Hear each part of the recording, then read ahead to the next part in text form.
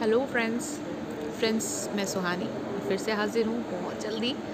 आ, कल मेरी बात हुई थी आप लोगों से कि मैं ओमान जा रही हूँ पर अनफॉर्चुनेटली या फॉर्चुनेटली शायद मुझे वीडियो बनाना था इसलिए। मैं स्टिल ओमान नहीं पहुँची हूँ। बीच में जहाँ मैं बहरीन वाया बहरीन गई थी वहीं पे अभी तक जो है मेरा हॉल्ट है। हुआ ये कि 40 मिनट्स का जो हमारा हॉल्ट था वो उस 40 मिनट्स में हमें अगली फ़्लाइट जो है, बहुत कोशिश की, भरपूर कोशिशें की हम लोगों ने। आखिर में नहीं पहुँच पाए। मैं और दो और पैसेंजर और मेरा बेटा, यानी कि हम चार पैसेंजर जो हैं, पैसेंजर्स जो हैं, वो छूट गए। फ़्लाइट चली गई, हमारे लिए नहीं रुकी। और हुआ ये था ना कि हम लोगों को जब 40 मिनट्स का हॉल्ट दिया गया था तो उन लोगों को हमें सीट्स जो हैं, आगे की देनी चाहिए थी। तो ऐसा नहीं किया। उन लोगों ने हमें सीट्स जो है नियर टू वॉशरूम यानी कि सबसे पीछे वाली दी थी और बाहर निकलते निकलते कोविड की वजह से सारे पैसेंजर्स सीट बाय सीट निकलते हैं। तो ऐसे निकलते निकलते जब हम लोग लास्ट में निकले तो ट्वेंटी मिनट्स तो हमारे वहीं हो गए। बाकी के ट्वेंटी मिनट्स जो है वो आप जानते हैं एयरपोर्ट्स कितने गेट्स कितने दूर होते हैं या क्या? तो करीब दो ढाई किलोमीटर भागे हम लोग और कुछ जस्ट दिलचस्प सी चीज़ें हुई। भागे, भागते हुए जब हम बिल्कुल उस गेट पे पहुँचे। तब वहाँ के क्रू मेंबर्स ने हमें कहा कि स्टॉप आपकी फ़्लाइट जा चुकी है। तो वही ये सुन के जो होना है ना, वही हुआ। मेरा बीपी बढ़ गया, सब लोग टेंशन में आ गए। और जो है, काफ़ी शाउट किया हम लोगों ने दो और पैसेंजर एक दुबई के हैं और दूसरे खुद जो आए हैं दमाम से यहाँ मस्कत के लिए निकले थे। वो भी हैं। हालाँकि मैं उन्हें ज़्यादा नहीं जानती, पर अब जबकि हम तीनों फंसे हुए पैसेंजर्स हैं तो आपस में थोड़ी बहुत बात होती है टाइमिंग को लेकर कि कब निकलना है, कैसे निकलना है, और हम में से दो के पीसीआर टेस्ट जो हैं वो एक्सपायर हो रहे हैं तो हमारा पीसीआर लास्ट नाइट किया गया फिर से। बट ये एक अच्छी बात है गल्फ़ एयर की। थैंक्स टू गल्फ़ एयर कि उन्होंने हमें कॉपरेट किया, बहुत अच्छे से ट्रीट किया, और इमीडिएट जो है मुझे मेडिकेशन भी दिया गया। हालाँकि मेरी थोड़ा सा बीपी का हो गया था शाउट हुआ और मैं बहुत टेंशन में आ गई थी एक्चुअली यार कि और उन्होंने एक्चुअली ये एक घोषणा कर दी थी, एक अनाउंसमेंट कर दिया था कि जो है सेवन से पहले आपकी कोई फ़्लाइट नहीं है।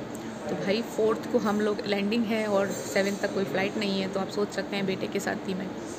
तो थोड़ा सा उन लोगों को मुझ पर यू नो मर्सी हुआ कि चलो मर्सी किया जाए इस पर और उन लोगों ने पूछा कि क्या किया जाए आप लोगों के साथ, यहाँ तो आप दुबई जाइए दोबारा। मैंने कहा, मेरे पास वीज़ा नहीं है दुबई का। आप लोग सारा पे कीजिए, मैं जाने को तैयार हूँ, लेकिन उधर मेरी फैमिली है, बेटे का स्कूल स्टार्ट होने वाला है। आई कैन नॉट स्टे मो तो एनी हाउ आज हमारी शाम की पाँच बजे की फ़्लाइट है। हम लोग स्टिल जो है बिज़नेस क्लास लाउंज में उन्होंने हमें रात भर रात भर से ठहराया है। और स्पेशली मुझे और मेरे बेटे को इन्होंने क्वाइट लॉन्च दिया, जहाँ हम लोग बहुत पीसफुली सोए रात को। ऑफकोर्स हम लोग उस तरीके से नहीं निकले थे तो ठंड थी बहुत ज़्यादा। इन्होंने फिर भी कितना कोशिश किया। कोविड की वजह से एक्चुअली ना सब जगह सत्यानाश हो चुकी है यार। तो ना फैसिलिटीज़ में बहुत कमी आ गई हैं तो इन लोगों को भी हम दोष नहीं दे सकते। बट इन लोगों ने जितना बेस्ट है वो किया और ओवरऑल हमें बहुत अच्छा ट्रीट किया, कर रहे हैं। सब कुछ जो है अपनी फैसिलिटीज़ जो हैं हमें अच्छे से प्रोवाइड कर रहे हैं। तो थैंक्स टू गल्फेयर अब हमारा साथ दे रहे हैं वो और अब हमारी जो नेक्स्ट फ़्लाइट है वो भी डायरेक्ट ओमान की नहीं है। हमारी फ़्लाइट है 20 मिनट की यहाँ से सऊदी यानी कि सऊदी की कंट्री सऊदी की एक शहर है दमाम तो भाई मैं भी ज़्यादा नहीं जानती थी उस बारे में, लेकिन जब से सुना है कि दमाम जा रहे हैं तो थोड़ा बहुत रिसर्च मेरी आदत है कि जब मैं कुछ सुनती हूँ नया तो उसको ज़रूर चेक करती हूँ क्या है, क्या नहीं है। वहाँ पीसीआर कितना वैलिड है बच्चे के लिए या क्या, सब कुछ चेक किया मैंने। तो ठीक है भाई, अभी हम एक घंटे में निकलेंगे। तो फ़्लाइट वो 20 मिनट की है, यहाँ से दमाम बहुत करीब है बहरीन से। और दिन में मैं थोड़ा सा गई थी बहरीन एयरपोर्ट को कैप्चर करने।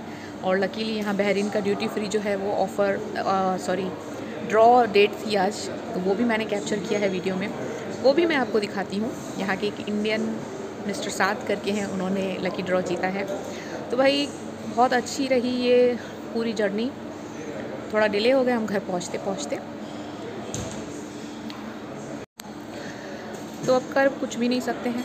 घर तो जाना ही है, सबको जाना है, सब लोग वेट कर रहे हैं। तो भाई, करना क्या है? थोड़ा सा वेट और फिर दमाम से क्रू मेंबर्स हमें सीधा जो है के एल एम के आगे हमारी डच एयरलाइन की फ़्लाइट है।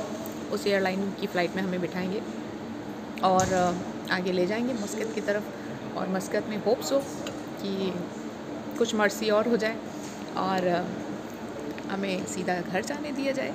तो भाई मैं कॉफ़ी पी रही थी, आप लोगों से थोड़ी सी बातें कर रही थी सोचा कि गपशप कर लेती हूँ आप लोगों से फ्री टाइम में। तो आइए मेरे साथ कॉफ़ी इंजॉय कीजिए और इस लाउंज के जितने भी मैंने वीडियोस बनाए हैं, जो कैप्चर किए हैं, इस बहरीन एयरपोर्ट को जो मैंने कैप्चर किया है, वो मैं इस वीडियो में आपको दिखाऊँगी।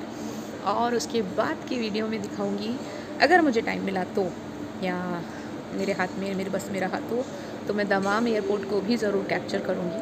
पर अगर हमें उन्होंने अलाउ किया एंटर करने के लिए तो और अगर उन्होंने हमें वाया वाया इंटरनली वेज से एक फ़्लाइट से दूसरी फ़्लाइट में भेज दिया तो मैं ज़्यादा कुछ नहीं दिखा पाऊँगी आपको।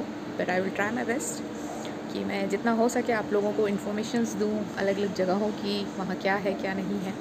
तो भाई एक यूट्यूबर होने के नाते और कई सारी चीज़ें जब हम नहीं देखते हैं तो उनको कैसे कैप्चर किया जाए वो मैं आप लोगों को ज़रूर बताऊँ।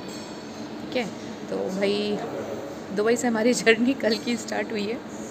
आ, लेकिन स्टिल हम लोग ओमान नहीं पहुँचे हैं जबकि बाय रोड फाइव आवर्स का है ओमान दुबई से और बाय फ़्लाइट है फोर्टी फाइव मिनट्स जी हाँ डोमेस्टिक की तरह फोर्टी फाइव मिनट्स ही होता है हालाँकि कंट्री अलग है बट हमें more than twenty four hours हो चुके हैं। कल शाम के पाँच बजे से हम लोग घर से निकले। आज शाम के पाँच बजे हम लोग यहाँ से जाएँगे और आज रात को करीब बारह बजे इन हम लोग पहुँचेंगे। तो बस आप दुआ कीजिए सबके लिए, हमारे लिए कि टाइम पे घर पहुँचें यार और मुझे होटल का टाइम ना दिया जाए। अगर मुझे नहीं दिया गया तो मैं इमीडिएट वीडियो बनाऊँगी और दिया भी गया तो क्या कर सकते हैं यार, हर हाल में जीना है।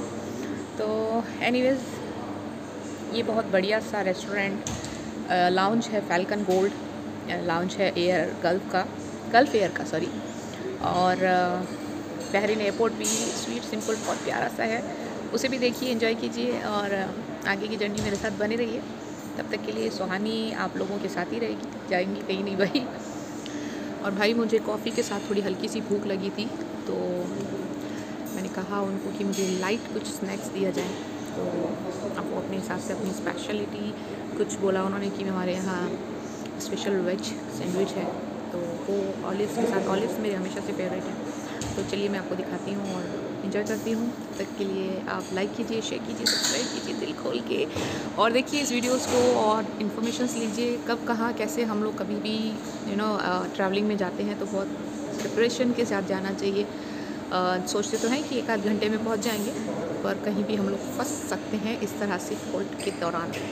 कभी हमारी फ़्लाइट मिस हो सकती है, कभी कुछ प्रॉब्लम कभी टेक्निकल इश्यूज़ आते हैं फ़्लाइट में तो कहीं ना कहीं हम लोग रुक सकते हैं, क्योंकि कल क्या होगा ये हमें नहीं पता। तो भाई मेरा भी यही था, हालाँकि मैंने तैयारी से निकलती हूँ हमेशा। बेटे की और मेरी जो हैंड ड्रेसेस हमने अलग से रखी थी टूथब्रश और स्लीपर्स ये सब रखे थे तो हमें बहुत काम आया लॉन्च में, क्योंकि 24 घंटे से ज़्यादा बैठना होता है तो आप कंटिन्यू स्पोर्ट शूज़ में नहीं बैठ सकते हो। ये वो बहुत सारी छोटी छोटी चीज़ों का ध्यान रखना चाहिए हमें ट्रैवलिंग में, क्या कब हो जाए नो बडी नोज़ तो बहुत सारा इन्जॉय किया हमने। मैंने और मेरे बेटे ने। मेरे हस्बैंड को बहुत मिस किया। हम उन्हें भेज रहे थे डिशेस खा रहे थे तब तो। आ, क्या कर सकते हैं?